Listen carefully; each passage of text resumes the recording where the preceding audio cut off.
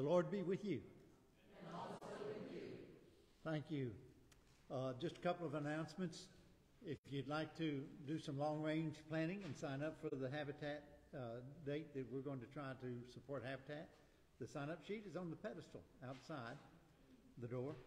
We had a wonderful chili supper. I feel like it was fixed since my chili didn't win. but uh, but we'll do that. And then next Sunday, I'm really looking forward to next Sunday. The youth are going to be doing the whole service, and then following that will be a potato, baked potato, what I guess you call stuffed baked potato luncheon. All right, so come and be prepared to hear well and eat well. Now, may the peace of Christ be with you.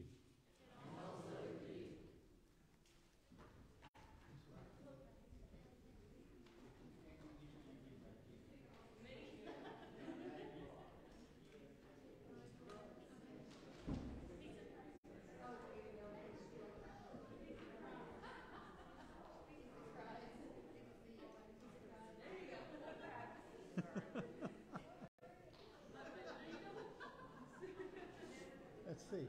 I forgot our.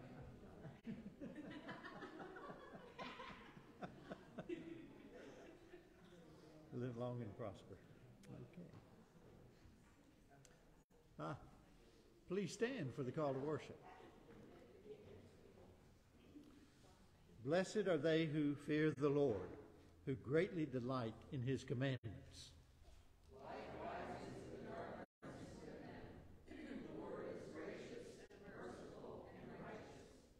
Let us worship God.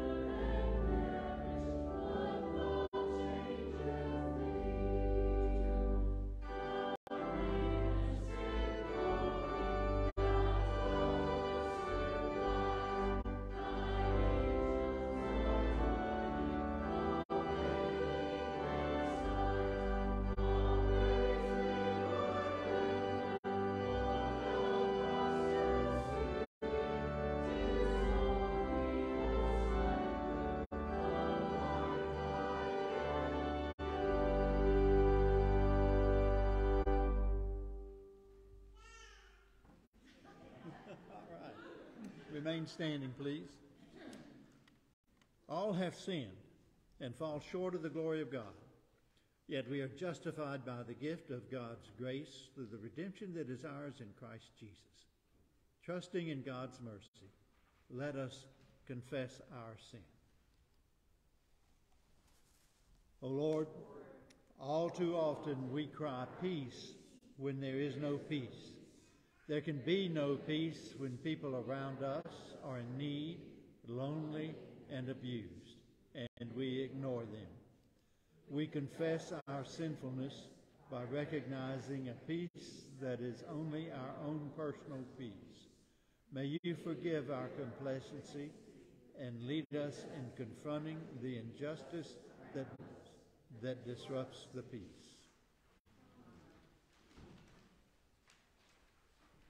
Friends, believe the good news of the gospel. In Jesus Christ, we are forgiven. Come now, let us reason together, says the Lord. Though your sins are, they shall be as white as snow. Though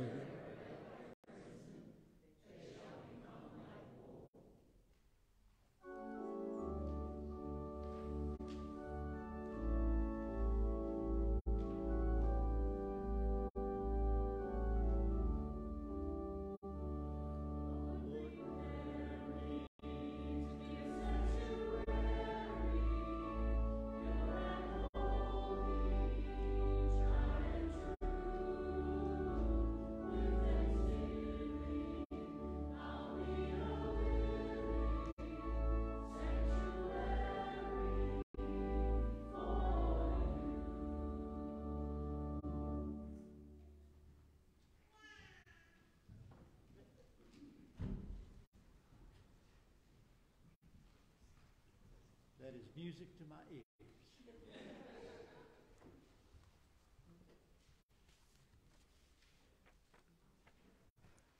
Let us pray.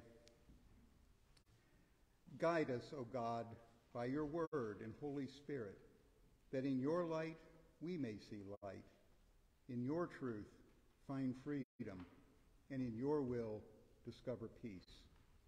Through Christ our Lord. Amen. Our first lesson is from the prophet Micah, the sixth chapter, verses 1 through 8, found on page 866 in your Pew Bible. Listen now for God's word. Hear what the Lord says. Rise, plead your case before the mountains, and let the hills hear your voice. Hear, you mountains, the controversy of the Lord, and you enduring foundations of the earth. For the Lord has a controversy with his people, and he will contend with Israel. O my people, what have I done to you? In what have I wearied you? Answer me. For I brought you up from the land of Egypt and redeemed you from the house of slavery. And I sent before you Moses, Aaron, and Miriam. O my people, remember now what King Balak of Moab devised, what Balaam, son of Beor, answered him, and what happened from Shittim to Gilgal, that you may know the saving acts of the Lord. With what shall I come before the Lord and bow myself before God on high? Shall I come before him with burnt offerings, with calves a year old? Will the Lord be pleased with thousands of rams, with ten thousands of rivers of oil? Shall I give my firstborn for my transgression, the fruit of my body for the sin of my soul? He has told you, O mortal, what is good. And what does the Lord require of you? But to do justice, and to love kindness, and to walk humbly with your God. This is the word of the Lord.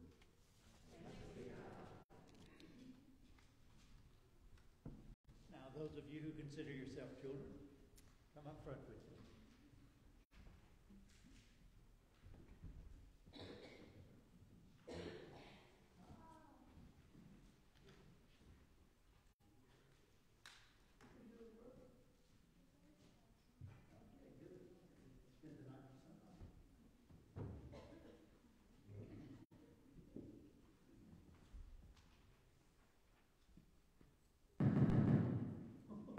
It does not like me.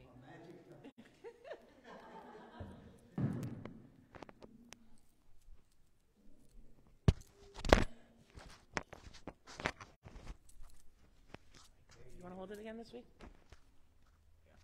Thank you. Now, do you all know what this is? What is it? It's a radio. Well, it is, has a radio in it, but when I was a little older than y'all, we called it a boom box. And you you might see somebody going down the street with this thing on their shoulder. they all know about it, listening to music. And you know how it played music? It played music by putting a tape deck called a cassette right in. You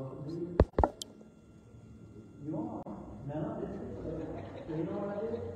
I made a set, and I put it on the screen, so y'all stand up and look at the screen. And that's, that's what, that's a look at it.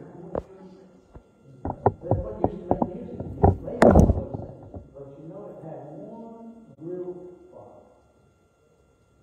The tape would come out and all twisted up, and then you have to lined it up, trying to do it, and you don't know how many times I wound up in the wrong area. Okay, well, that thing's out of date now, but we CDs, and we have, what's the name of Spotify, we have all these other ways listen to music.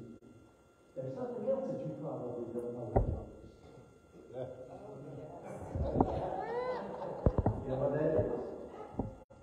A telephone booth, that's right. And inside of that telephone booth would be a paid telephone. Because it used to be, if you wanted to call your friend or Robert and they lived in Charlotte, you had to pay extra money for that. And we called that long distance. So happened is, you would pick up the phone and you dial the operator and say, I want to call this number in Charlotte. And she'd say, deposit seventy-five cents. So you put three quarters in the thing that says twenty-five cents, and then she would connect you to the money. The reason I'm telling you all this is because in my sermon today, I'm going to mention a paid telephone. And I wanted you all to know what it was. Because it used to be, if you called somebody outside the area, they would charge you extra for that. That was called long distance. Okay, now, there's something else that's changed. You know what it is? You just saw it. Some of the ways in which we enhance our worship has changed. Because when I was growing up, you never pictures like that on the screen or something like that. But now, it helps us understand what's going on there. So we can embrace change in a whole lot of different ways. And sometimes we even say, no, we don't have to take. Let's have a.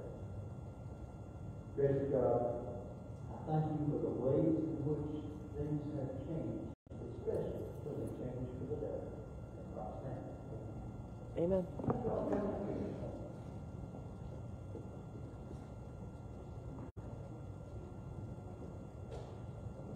I'm glad I found this in our fellowship hall.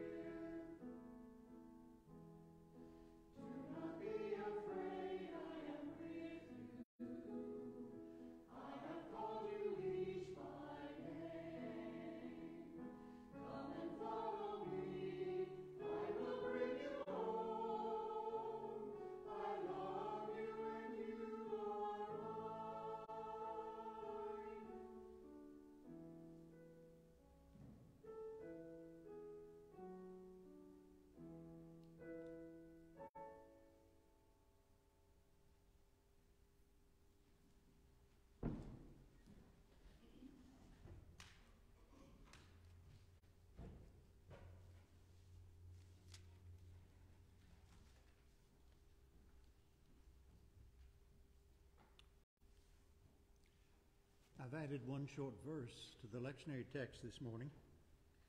It's Matthew chapter 4, verse 17.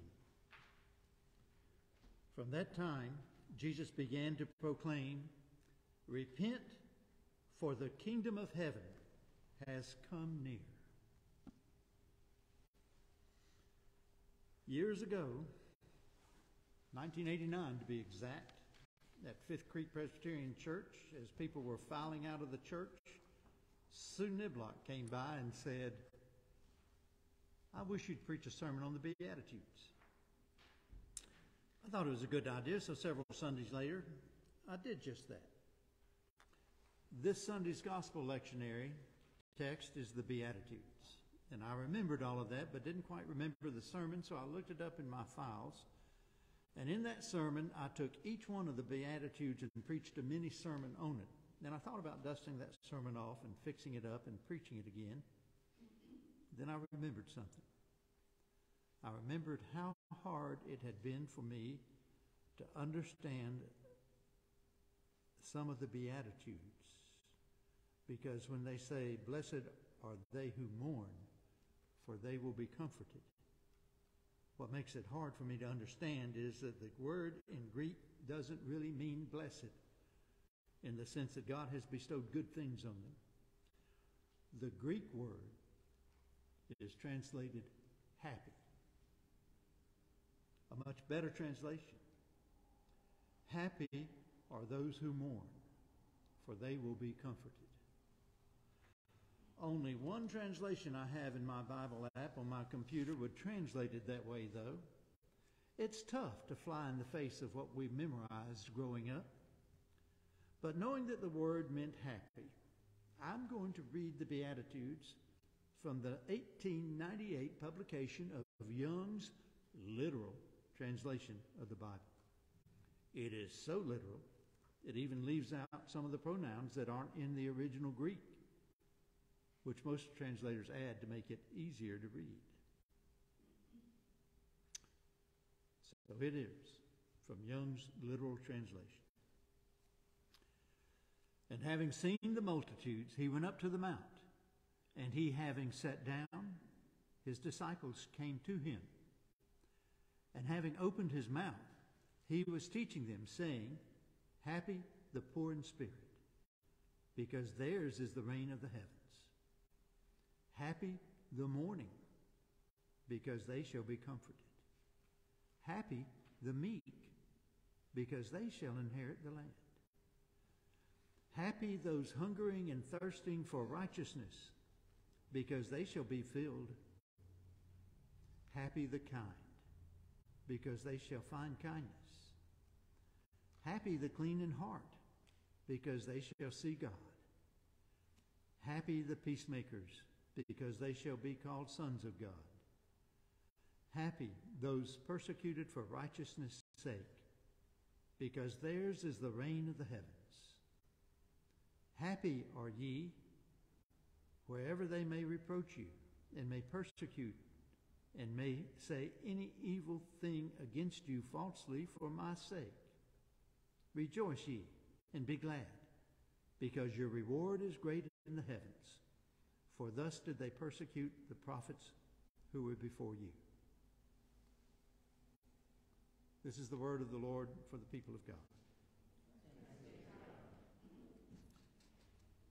Happy the mourning, because they shall be comforted.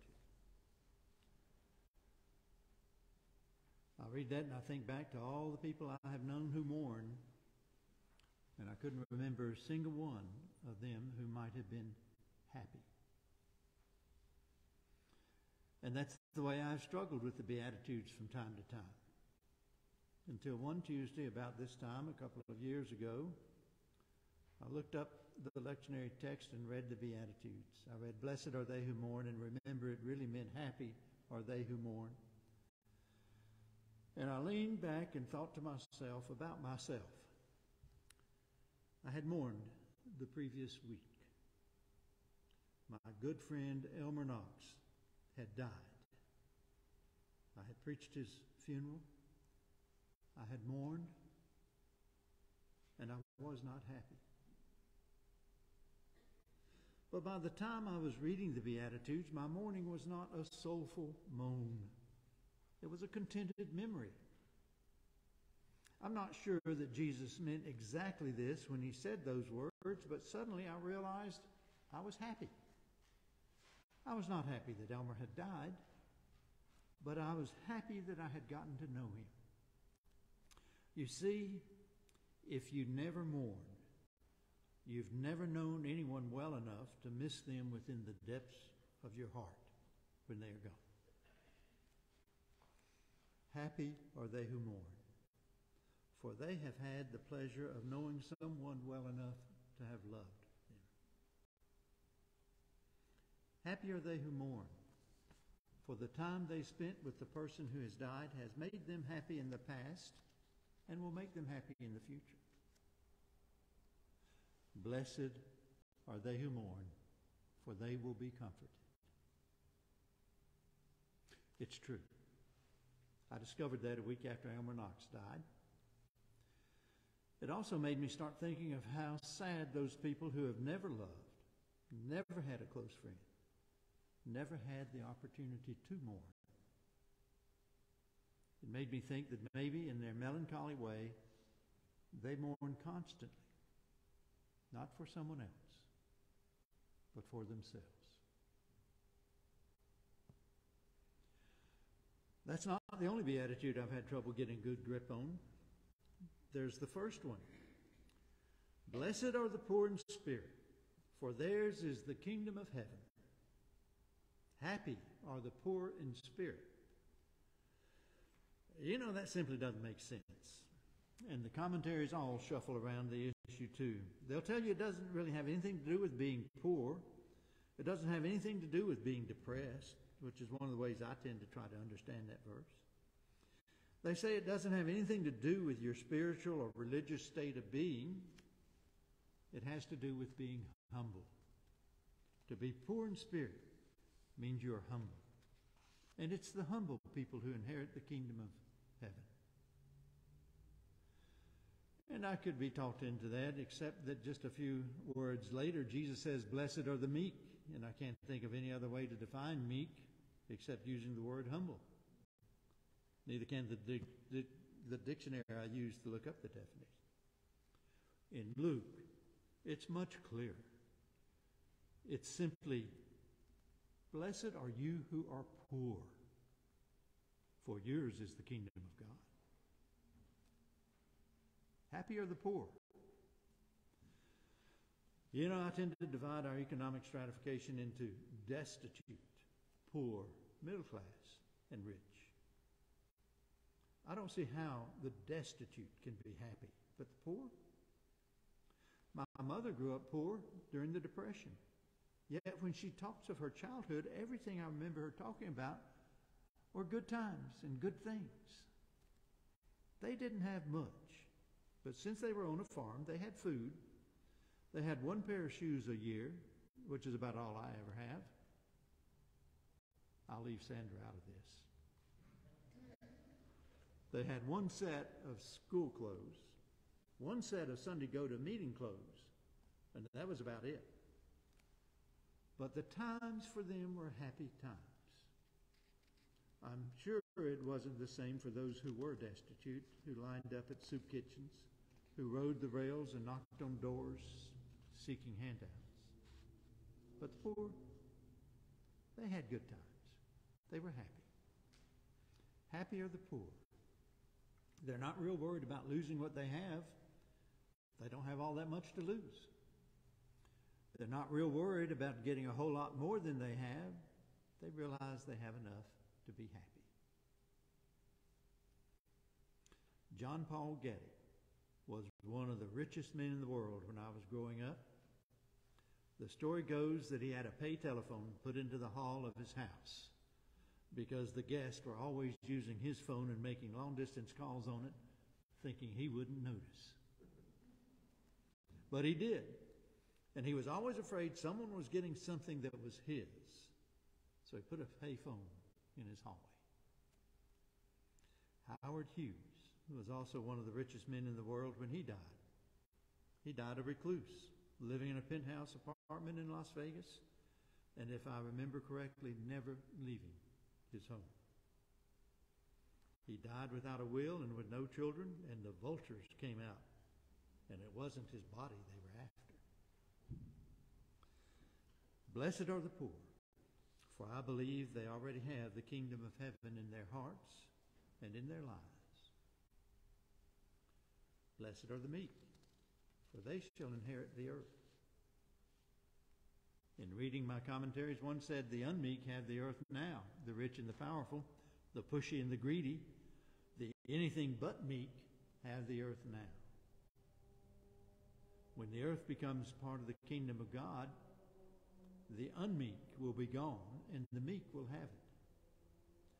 For in the kingdom of God there will be no rich and powerful people. Only God is powerful in God's kingdom. The kingdom of God, the pushy and the greedy are going to be somewhere else, or else they won't be pushy and greedy. In the kingdom of God, the meek will truly inherit the earth. I sat down to the Beatitudes after having buried a good friend and discovered a new meaning in them. It all fits nicely in what we call the theme of reversal in the Gospels. The theme that says the first will be last and the last will be first. The theme that says whatever order there is on earth today, that order will be upset in the kingdom of God. And we call that order the status quo.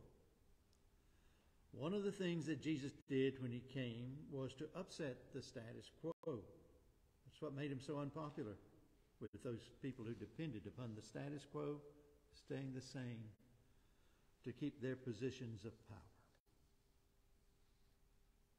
That's what made him so unpopular, that those who depended upon the status quo had him put to death.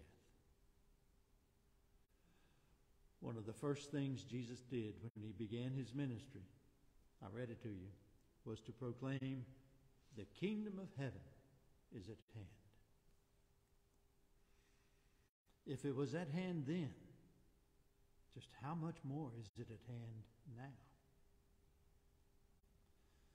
You see, I believe the kingdom of heaven is not something that is waiting for us when we die. I believe it's something we can have now.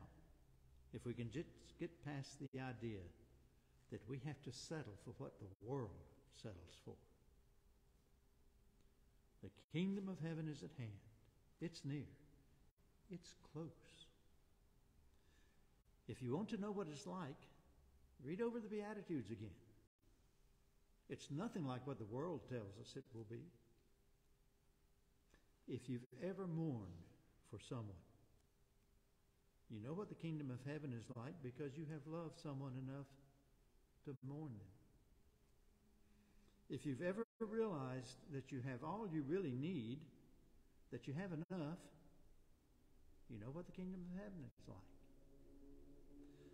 If you've ever read through the Beatitudes or repeated them from memory and then suddenly realized how well you really might understand them, you know what it means when Jesus says, The kingdom of heaven is at hand.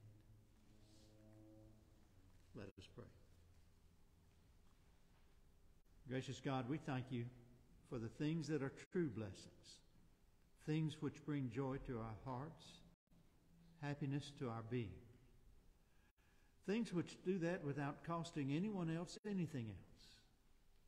May we this day learn to measure our blessings by the happiness we have. In Christ's name we pray.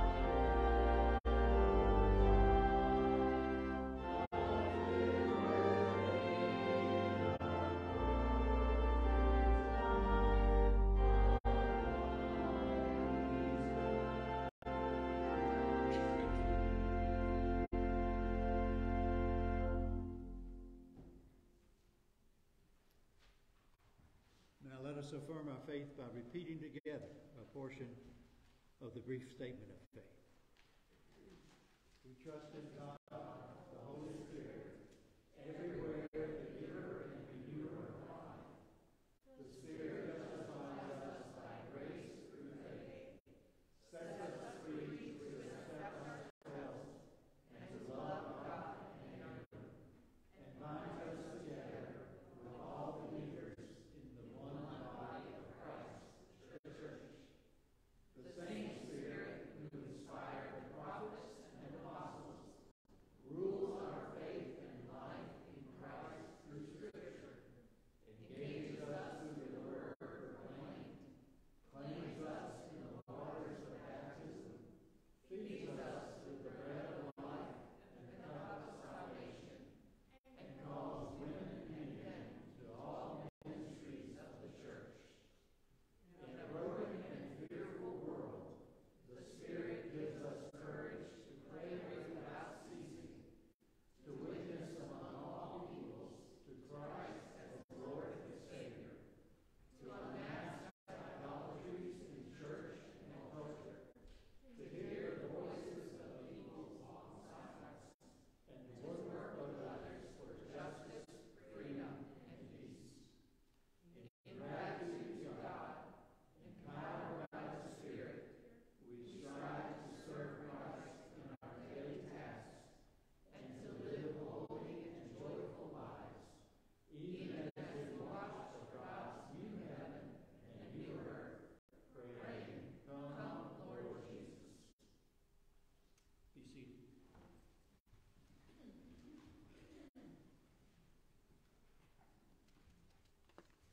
Let us go to the Lord in prayer.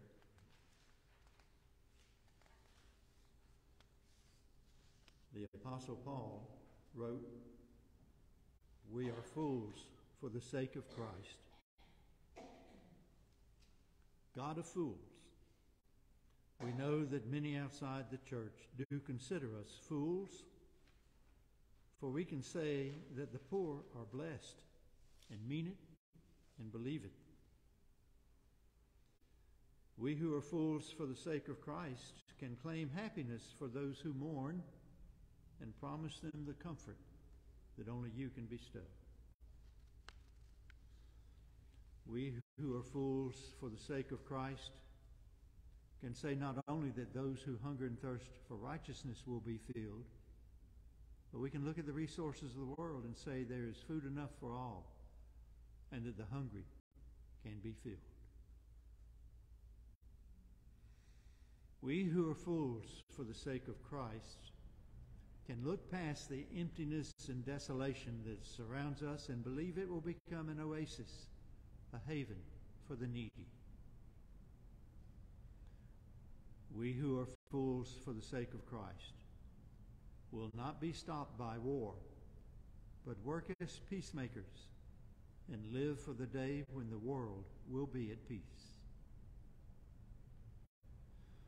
We who are fools for the sake of Christ will seek justice for the poor and the oppressed of this world rather than take advantage of those who have not the resources of mind, health, or wealth to defend themselves.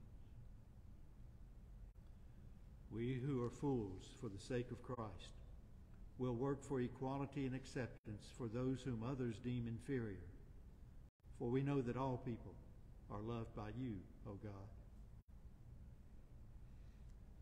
We who are fools for the sake of Christ will reach into the fear in the hearts of humanity and pray for fear to be replaced with hope.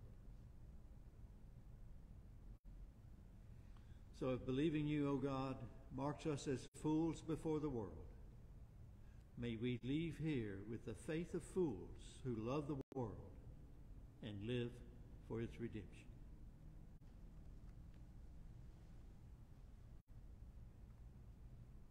These are prayers spoken with our lips and the prayers we lift up to you in the silence of our hearts.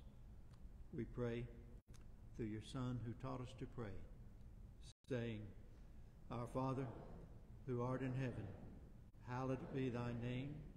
Thy kingdom come, thy will be done on earth as it is in heaven. Give us this day our daily bread, and forgive us our debts, as we forgive our debtors. And lead us not into temptation, but deliver us from evil. For thine is the kingdom, and the power, and the glory forever. Amen. Now let us give to God God's tithes and our offerings.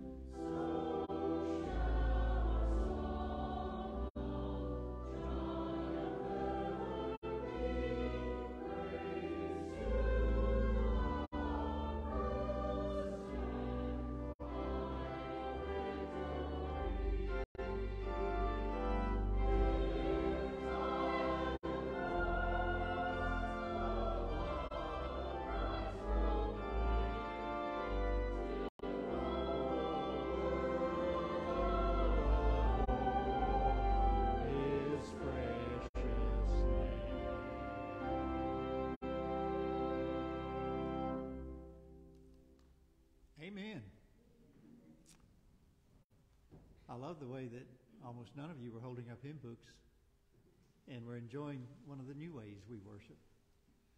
Now may God bless you and keep you. May God cause God's face to shine upon you and be gracious unto you this day and forevermore. Amen.